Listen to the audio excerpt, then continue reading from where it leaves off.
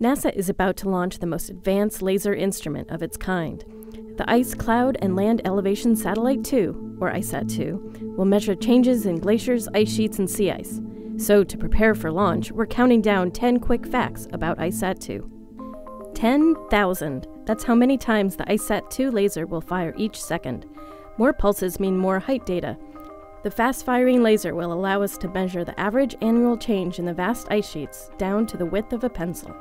Nine years of data from Operation Icebridge will be added to ICESat 2's new data.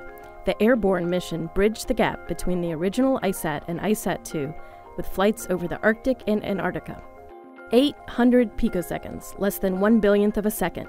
That's the precision at which individual laser photons will be timed as they complete their round trip journey from the satellite to the Earth and back.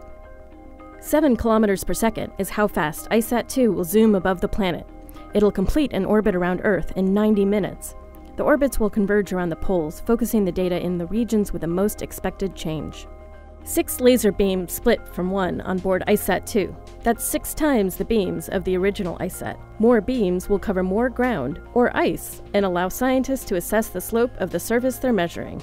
532 nanometers, the wavelength of the bright green laser, when these laser photons return to the satellite, filters block any light that's not exactly at this wavelength, keeping the amount of data noise down.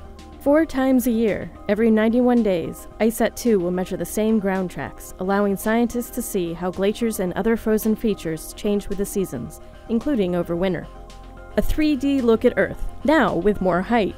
ICESat 2 will measure elevation to see how much glaciers, sea ice, and ice sheets are rising or falling and give us a more complete picture of our planet.